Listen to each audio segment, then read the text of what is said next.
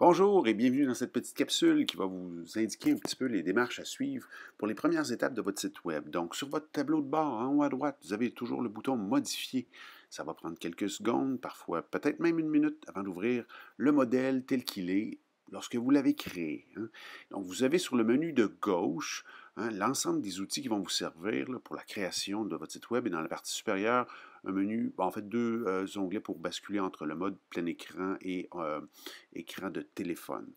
Si on regarde par exemple l'outil euh, le plus utilisé, donc ajouter des éléments, la première séquence, la partie supérieure, le texte, image, bouton, bande, éléments décoratifs, etc., c'est les éléments de principaux que vous allez utiliser tout le long de la confection des différentes pages que vous allez faire cette année. Allons voir, par exemple, comment insérer un texte. Essayez-le. Hein. Vous pouvez insérer, par exemple, un paragraphe. Et lorsque vous voulez modifier le paragraphe, vous double-cliquez dessus et vous allez être en mesure d'écrire directement dans la section. Euh, vous pouvez bien entendu jouer avec la couleur du texte. Hein. Si ça ne fonctionne pas, c'est que le texte n'est pas sélectionné. Par exemple, hein, si je sélectionne un texte, ça veut dire qu'il va être surligné en bleu. Et après coup, si je change la couleur, ou la grandeur du texte, hein, je vais être en mesure de voir, dans le fond, les changements s'appliquer. Donc, essayez-vous, hein, c'est des outils qui, lorsqu'on les essaie, on les maîtrise. Vous pouvez déplacer un peu comme vraiment de manière intuitive tous les éléments que vous ajoutez. Voyons maintenant comment on peut rajouter une image. Hein. Dans la section Ajouter un élément, encore une fois, vous allez dans Images. Il y a un ensemble d'images gratuites euh, sur la plateforme Wix. Hein. je vous invite à cliquer, par exemple, En voir davantage. Et là, lorsqu'on veut rechercher, soit on importe une image qu'on a déjà dans notre ordinateur. Je répète, elle doit être dans l'ordinateur comme tel, hein, pas sur le web. Donc, on l'enregistre au besoin. Si vous recherchez dans la bibliothèque Wix, je vous invite à taper euh, le mot euh, ou les indices de mots en anglais. Vous allez avoir bien euh, davantage d'images qui vont s'afficher. Et lorsqu'il y a une image qui vous intéresse, hein, elle peut être modifiée sur les teintes et tout, là, mais si elle est proche de quelque chose qui pourrait vous servir, hein, essayez-la, vous l'importez, vous la redimensionner, la positionner. Donc, c'est vraiment intuitif sur l'utilisation. Je vous invite à cliquer hein, sur tous les autres petits boutons qui pourraient s'afficher, puis voir à quoi ça pourrait ressembler, hein, changer par exemple le design euh, de l'apparence, si on voulait par exemple y insérer un simili euh, bande de, scotch qui colle l'image, mais ben, on pourrait le faire euh, avec les, options dans les paramètres de l'image.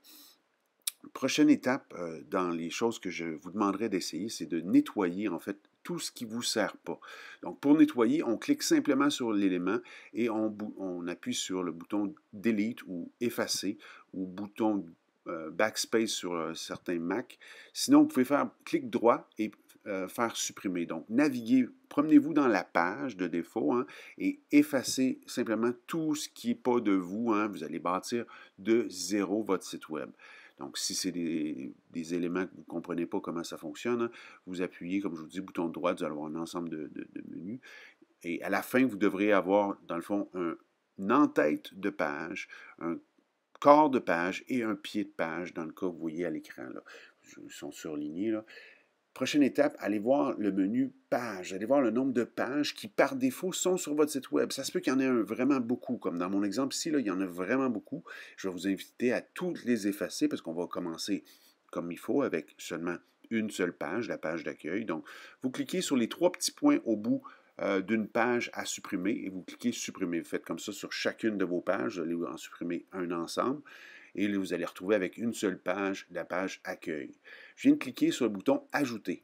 Donc, si vous ajoutez une page, à cliquer sur le bouton Ajouter une page vierge. Hein, ça va être la bonne façon de ne pas avoir un paquet de choses qui ne nous intéressent pas.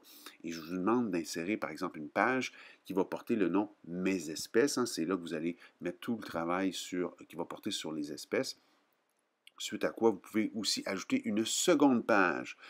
Euh, que vous pouvez intituler hein, euh, du nom de votre sujet que vous avez choisi. Vous savez, en classe, vous avez tous choisi un sujet parmi euh, un ensemble, une une dizaine de, sujets que vous aviez.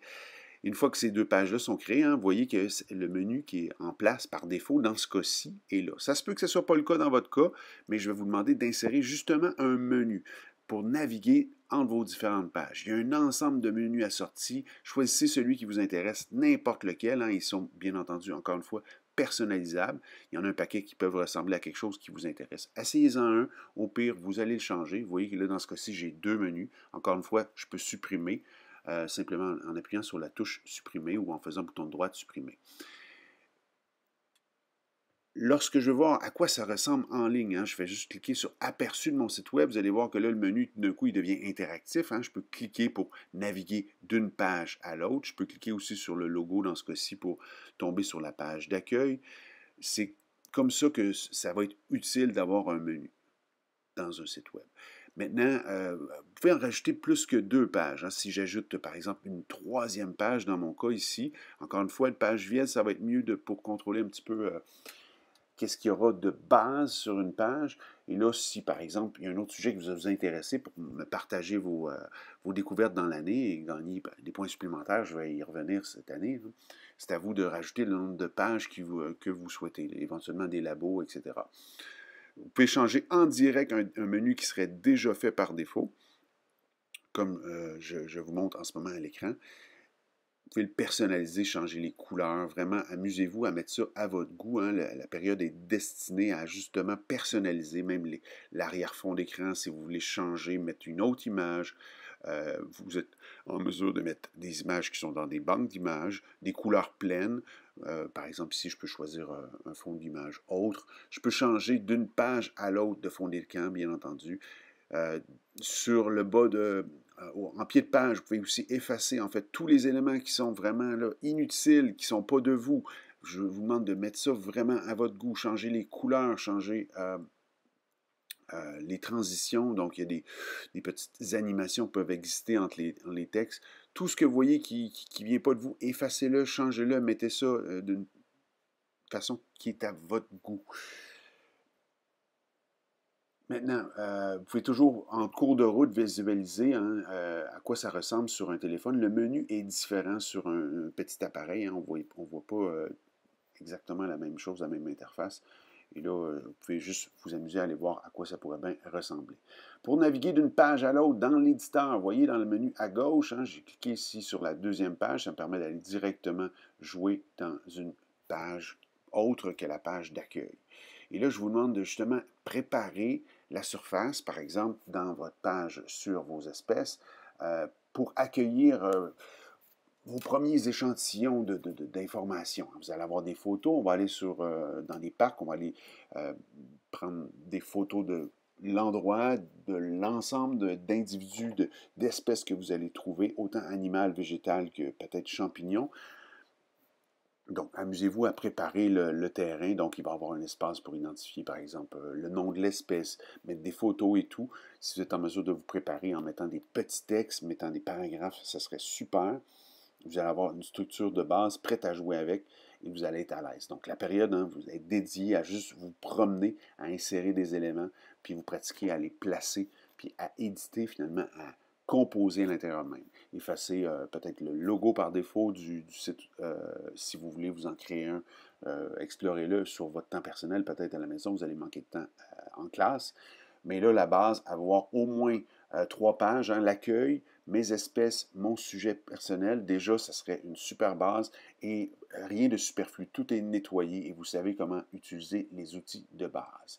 À la fin, lorsqu'on a terminé, hein, on n'oublie pas d'aller publier. Donc, en haut à droite, vous cliquez sur le bouton Publier ou Sauvegarder qui va vous permettre d'accéder à Publier maintenant. Si vous cliquez sur Publier, vous pouvez aussi faire voir le site. Je vous ai déjà montré ça. Et ça ouvre, dans le fond, une page web euh, qui vous permet, dans le fond, de voir qu'est-ce que tout le monde a accès en ce moment avec la même adresse web que vous m'avez déjà partagée. Et là, vous pouvez naviguer puis voir si c'est à votre goût. Vous fermez simplement, lorsque vous avez cliqué sur Sauvegarder, vous pouvez simplement fermer l'éditeur et euh, cliquer sur euh, Fichier et euh, quitter l'éditeur. Voici ce qui complète la capsule.